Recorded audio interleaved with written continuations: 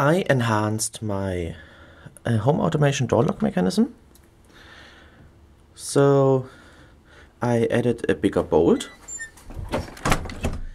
And as soon as I close the door, a magnet detects um, that the door is shut and starts the magnet to close the gap.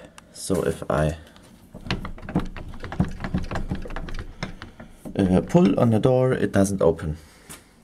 And then I have my home automation um, mobile website, so I can choose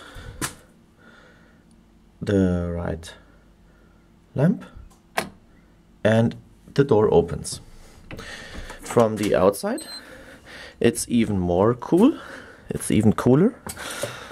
I have this RFID sensor. So I will lock the door now. You hear a, a light click.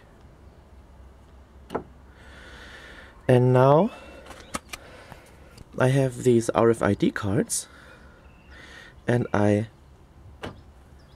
uh, hold them there and then the door opens again. The whole setup is um, fired with 12 volts.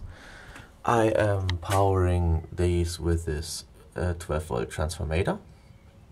And uh, the wires are connected to my relay based home automation light system. So the door lock behaves just like a lamp. So that's basically it